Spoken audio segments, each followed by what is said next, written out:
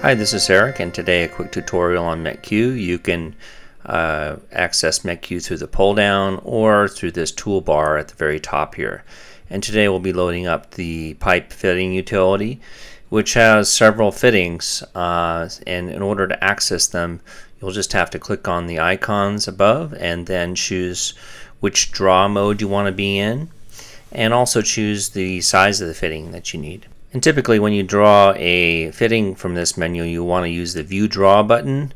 But today I'm going to be showing you how to double click on the flange option. From here we can choose the pick points of where we want our flange to insert from. And then below here we can actually choose the type of flange we need. On the right here you'll see several options including fasteners which show up in the bill of materials and we'll choose the flange here on the pipe side and then we'll simply pick a point in the drawing and then choose the upflow direction and the flange will insert. And from here we can continue it with the straight piece of pipe. Hit the enter key to find the last point, then pick the ending point and then press the enter key again. Next we'll put an elbow in. Again hit the enter key, choose the upflow direction, and then from here we can rotate the pipe in the correct orientation. I wanted to quickly show you that it's a good idea to turn on polar tracking. Um, here I usually like to set this to 45 degrees and this is available in the right hand corner of your drawing window. So let's go ahead and draw this time another flange but this time we're going to be changing the type to a weld neck.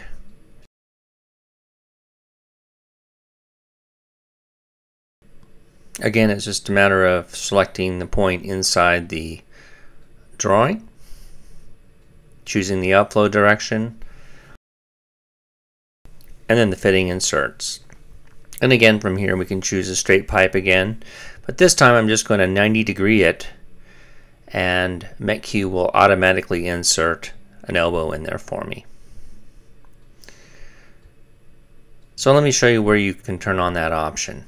That's available choosing options and then clicking this use elbow at bends which is by default turned on. Now let's finish up the flange, put on the opposite side. And here we'll just insert the center point. Again, the upflow direction. And then we'll finish it off again with a straight piece of pipe.